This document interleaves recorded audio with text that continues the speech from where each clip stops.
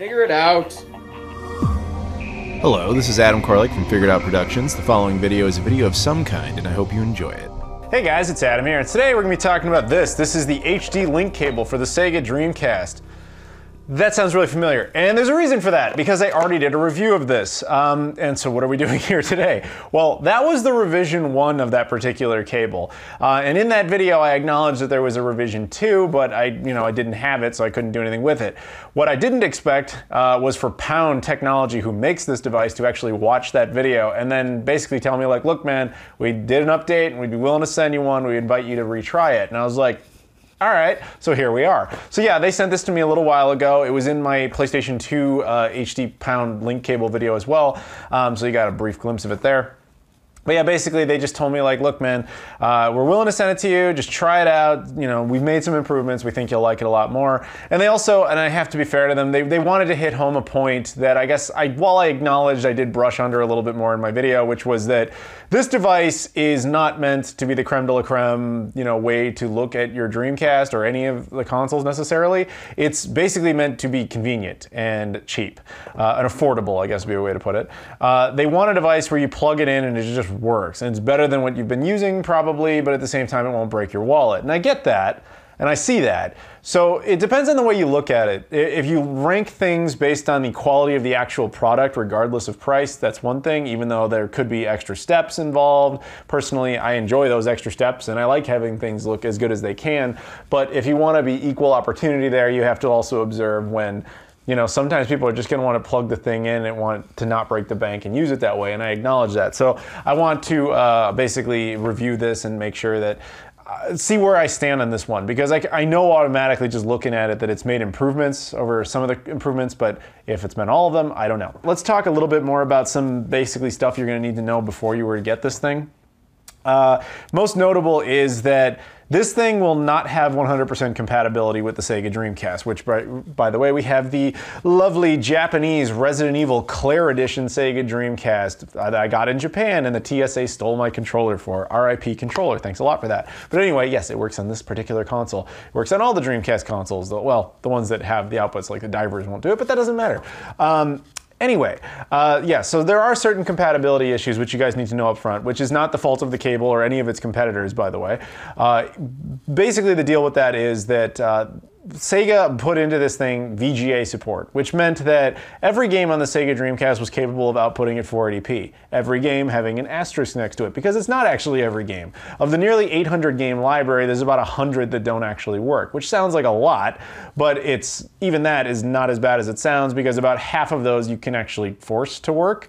Um, I'm not entirely certain of why, but essentially they don't have the code in them necessary to run the VGA modes. The VGA modes giving you, again, all the high resolution outputs, which you would need if you want to use this to A, make your games look better, and B, just to function, because this device is a straight 480p VGA mode pass through. It takes the original 480p signal, converts it to HDMI, and outputs it. It doesn't do anything else, so it can't understand the 480i games.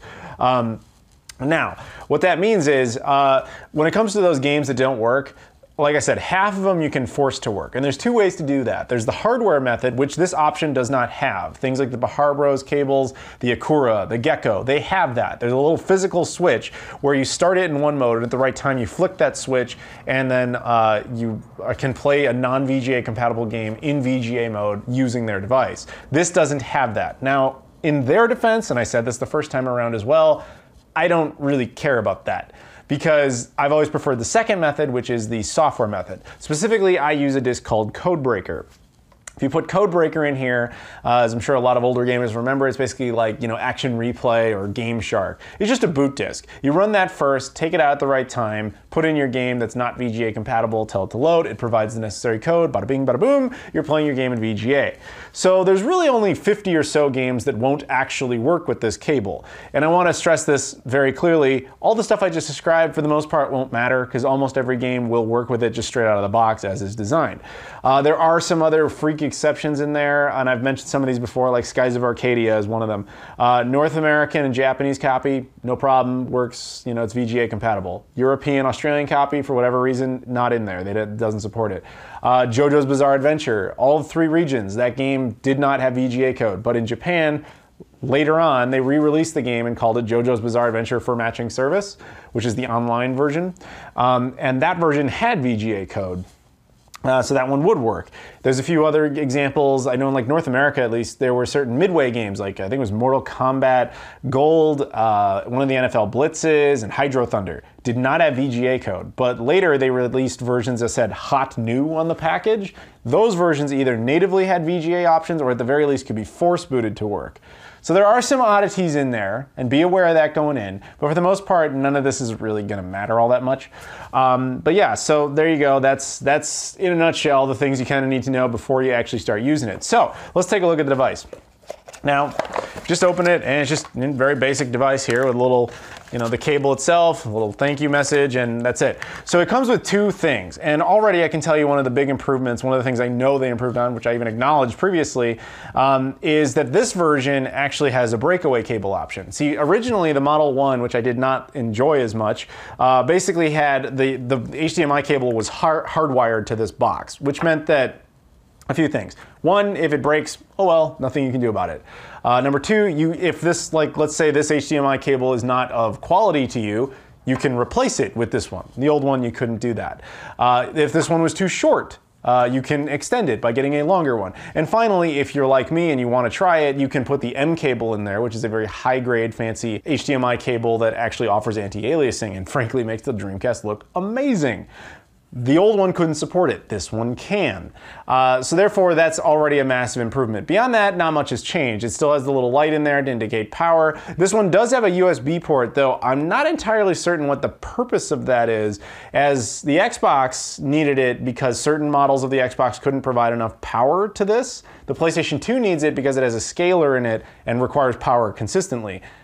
This, I don't know why it would actually need additional power, so I might have to tinker with that. I may not come up with an answer, we'll see. Okay guys, so I've been using this thing for a while and it's time for final thoughts. And basically, what I've decided to do, if you saw the first version of this video, is that I used Virtua Fighter 3TB to show comparisons between this cable, uh, the Gecko, the Gecko running the M cable, the, well, the Pound couldn't run the M cable at the time, but a direct comparison, all that type of stuff. And I decided to stick with tradition, we're gonna do exactly the same thing. But instead of using like video of it, we're just gonna focus on a single frame so you guys can get a greater sense of detail between the images. So the first thing up is actually this screen cap right here from Virtua Fighter 3 TB is running off of the original model of the pound cable, the V1.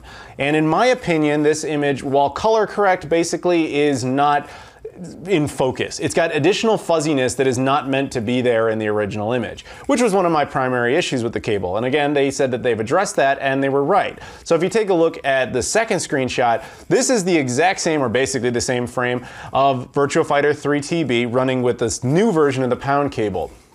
Now, it should be two apparent differences. One, they did address the fuzziness. That's not really there anymore. But unfortunately, the image is now darker for some reason. Um, and I don't really know what to make of this. Uh, I do know that uh, that's not as big of a deal because you can't fix fuzziness, but what you can adjust at least is the color settings on your TV to compensate. Uh, although it's unfortunate that you have to do that because if you compare it to this, this is the Gecko. Again, this is their by the Behar Bros. This device, for the Gecko, uh, is I believe $55. It is almost twice the price of the pound cable, but it doesn't have these issues. It's just showing you a direct tap pass through of the uh, original image. This is the pound cable, the, this version in particular, because the original didn't support it, uh, running with the M cable. And as you can see, uh, it's a smoother, more buffed out image. It looks a lot nicer in my opinion. It slightly addresses the color issue, but still at the same time it is darker than it's supposed to be. And proof of that is when you run it again against the Gecko with the M cable, as you can see here.